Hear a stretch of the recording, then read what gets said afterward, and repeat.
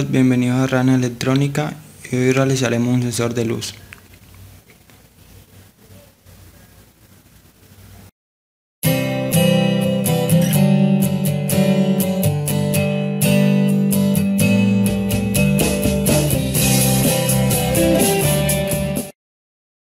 Los materiales que utilizaremos serán una pila de 9 voltios, un potenciómetro de 100K,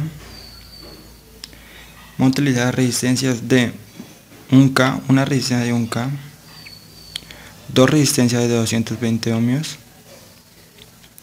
dos transistores 2N22A, un diodo LED, una fotoresistencia, eh, aquí no importa el tamaño, podrán utilizar cualquier tipo de, de fotoresistencia, cables para puentear, para, para la alimentación, para conectar la alimentación a la protobar, como también la protobar, por supuesto. Bueno, el circuito que realizaremos será el siguiente. Vamos a tener nuestra alimentación de 9 voltios, potenciómetro de 100K, la fotoresistencia, resistencia de 220 ohmios, resistencia de 1K, transistor 2N22A, este, 2N22A, el mismo transistor 2N22A, un diodo LED, emisor de luz y una resistencia de 120 ohms, protección del diodo LED. Bueno, a lo que esta fotoresistencia me sense que hay, le emita luz, sense que hay luz, va a disminuir, la resistencia, lo que va a causar que por aquí hay con flujo de corriente me fluja corriente aquí de menos. Es decir que hasta base el transistor le va a llegar menos. Al llegarle menos no se va a activar ese transistor, por lo cual no va a fluir corriente negativa hacia acá. Esta corriente no va a fluir hacia acá, sino que va a fluir hacia acá. Va a llegar positivo hacia este transistor y lo va a activar. Al activar este transistor me va a fluir esta corriente que va a hacer que encienda el diodo LED. Al no censarme luz acá, cuando no me sense luz, haya poca eh, intensidad de luz, va a circular por aquí la corriente más lo que por aquí la corriente así lo que me va a activar ese transistor. Al activarme ese transistor va a fluir corriente hacia acá y no va a fluir corriente hacia este transistor es decir que va a fluir directamente por aquí. Y entonces no se va a activar este diodo LED. Lo primero que haremos es conectar nuestros cables para alimentación. Eh, vamos a tener que esta línea todo esto va a ser negativa yo lo voy utilizar por negativa. Miren que aquí ya he colocado unos calitos punteando todas estas dos líneas. Es decir que hay continuidad de aquí hasta acá y acá hasta acá. Entonces colocamos aquí negativo. Por aquí toda esta línea del continuidad que es ser positivo entonces conectamos más aquí. Más y menos. Eh, los dejo ahí los cables para luego conectar alimentación. Solamente es para tener como referencia cuál va a ser menos y más. Listo lo primero que haremos es utilizar nuestro potenciómetro de 100K. Vamos a utilizar la patica del, centro y cualquiera de los dos extremos, cualquiera. Eh, lo colocamos por aquí. Listo. Ahora sí. Bueno, ahí para que puedan ver. Vamos a utilizar nuestra resistencia pueden utilizar cualquier fotoresistencia.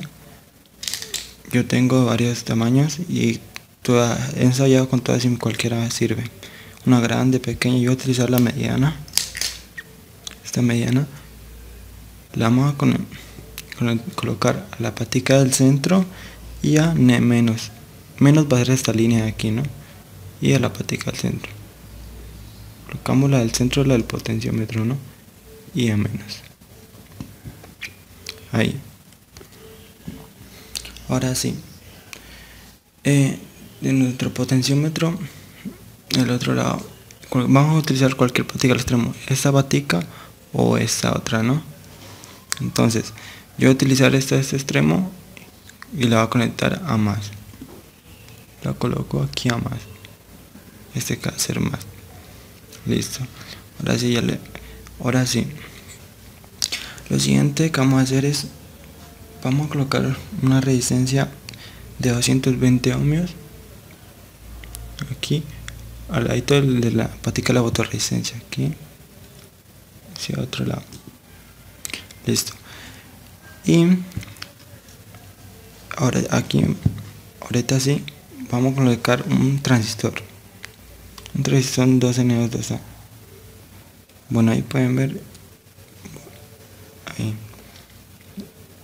espérenme que, que enfoque la cama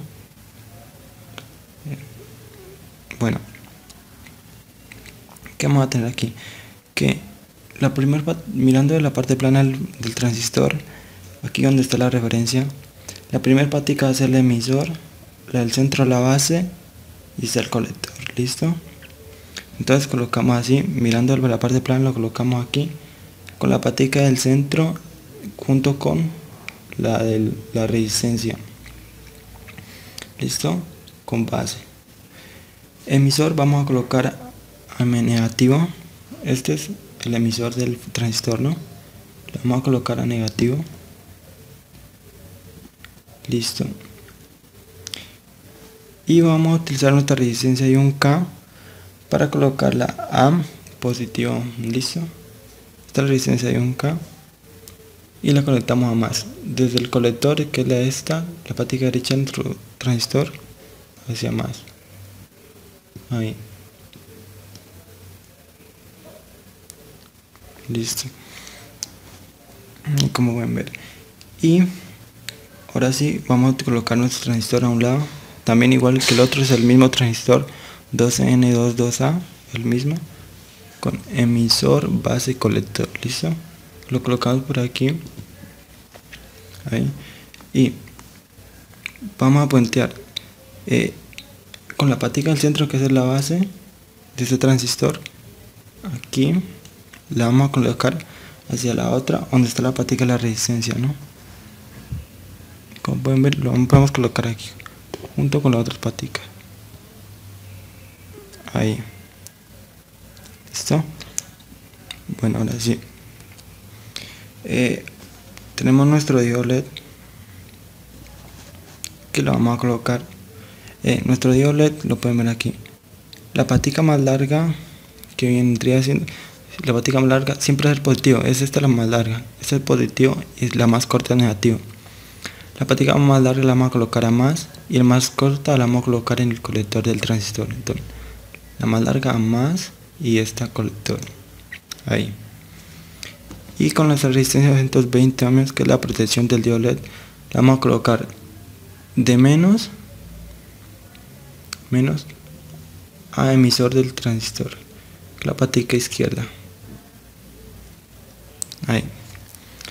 Ahí ya pueden ver ya está todo terminado y falta solamente conectar nuestra alimentación. Yo utilizaré esta pila de 9 voltios funciona este circuito funciona con 9 5 y 12 voltios sin cambiar nada eh, colocamos a menos y colocamos a más eh, pueden ver que ahí no está sin encenderse nuestro diolet lo que hacemos es con nuestro potenciómetro es, vamos a moverlo hacia este lado, ahí es donde enciende.